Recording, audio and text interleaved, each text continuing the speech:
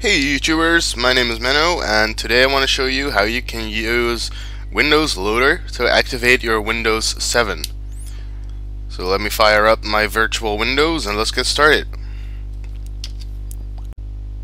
So as you can see I fired up my virtual windows here. Press uh, the Windows key and the pause key. You can also right click on computer in the on the desktop or in your start menu here. Just right click on there and click on properties it will show you the screen. And you can, you can see here at the bottom it says I got 30 days to activate my windows. So I'm just gonna close this window off.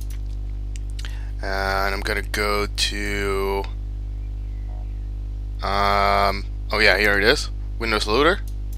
Just fire that up. Click yes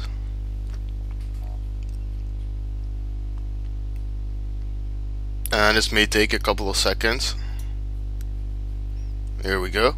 We'll just minimize that. All you really need to do is on the installation tab just click on install. And give it like a minute or so to uh, install.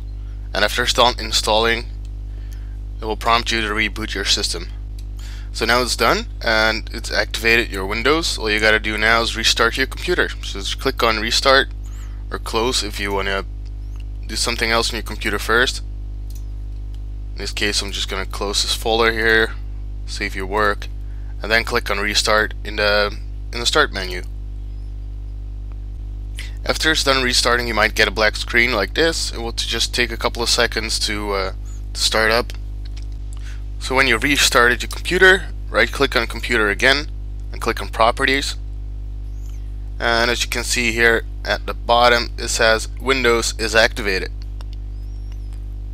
Like if you like this video share it to anyone who you think is uh, might might need this. Don't forget to subscribe to see more future videos and have a good day